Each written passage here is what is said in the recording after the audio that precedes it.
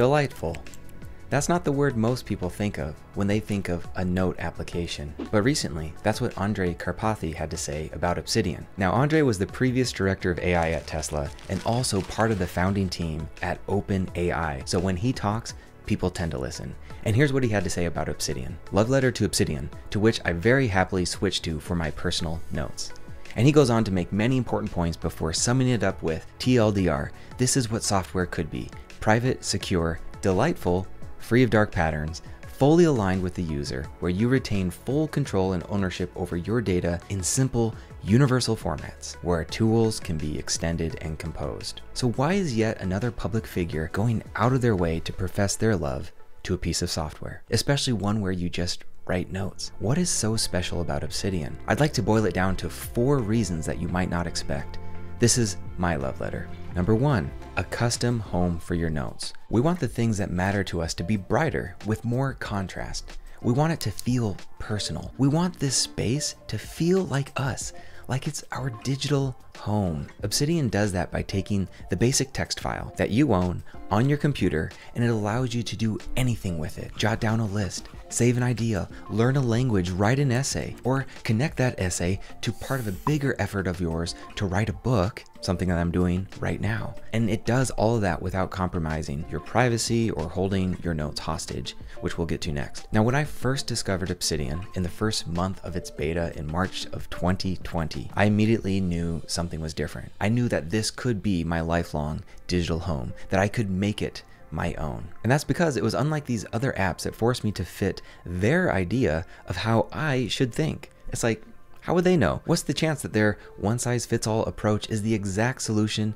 to my needs? The more time that I spend in this space that we'll call knowledge management, the more I realize the only solution that works is the one that we customize to work for ourselves. And Obsidian gives us the environment to create our own custom digital home. Number two, no one else owns your stuff. We want to own our stuff, our private, personal thoughts. Can you imagine writing in a note app for years, getting comfortable with it, trusting it? Then one day, the owners of the app tell you they're changing a few things, and if you want to see your notes, you'll have to pay them for access. And if you even think about leaving them, there's going to be hell to pay. Well, I don't have to imagine it because I've used Evernote. It was around 2015 that my notes felt more like the DMV cold, crowded, and just generally unpleasant. So I left Evernote and I paid for it with thousands of notes with really broken formatting. And it took years to get my notes back to being usable again. But now, now I own them and no one else does. They are simple, plain text markdown files. They are stored locally on my computer. They are not trapped in any untrustworthy software. And let's go further with this.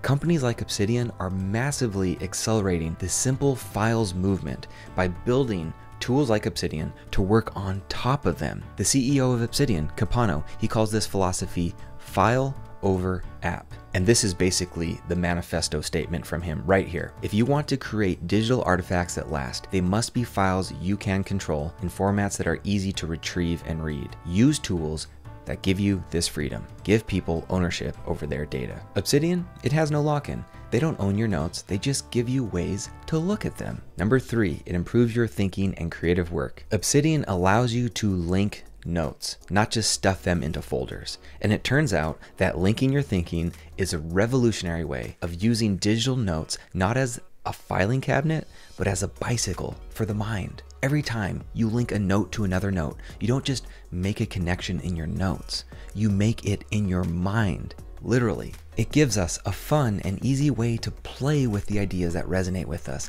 to link our own thoughts together, and especially to coax out our own insights. And it gives us this reliable way then to develop our best work over time. And in the process of linking digital notes together, one by one over time, you will build something priceless, a highly personalized universe of ideas that grows in value over time. It's your personal Ideaverse. And unlike the rest of the internet, this, this is a private space where your mind can fully take charge and let loose. It's kind of like Minecraft for the mind. It's the perfect environment to bring your ideas to life. I mean, for me, in the past year alone, I've written over half a million words. I've led and presented over 100 live sessions, and I'm in the process of writing a book. But it's the internal effects that I'm even more excited about. I'm thinking better. I have way more calm, and I'm feeling more creative than ever in a sustainable way. I'm truly making the most of my mind, and I just can't tell you how wonderful of a feeling that that is to have on a day in,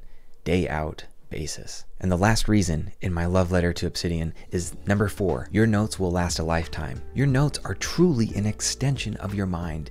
And if you lose them, you lose a lot more than just a few megabits of text. You lose access to a part of yourself. I know this firsthand. It was painful when I left Evernote in 2015, but I left because it was painful to stay, especially knowing that my notes, my private thoughts, they were locked in this proprietary format. But now my notes are simple plain text files. I know they are safe and secure and they are going to last me a lifetime. This universal file format means that the notes on my computer, they can be viewed by tons of other apps, not just Obsidian. What that means is my notes are as future proof as is possible. That's something you just won't get from most of the other apps out there. And Obsidian goes even further in security. When I sync my notes across all my devices, the data is end to end encrypted.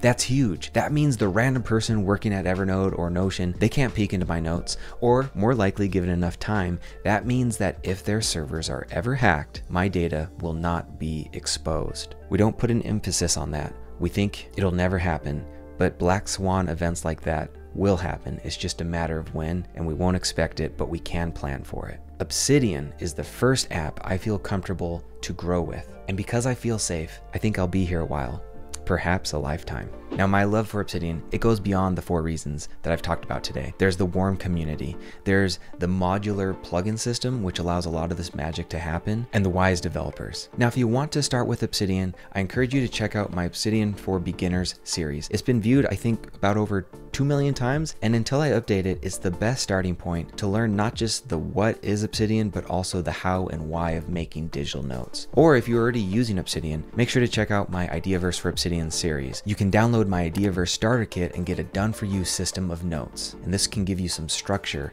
as you make the most of your mind. And until next time, everyone, stay connected.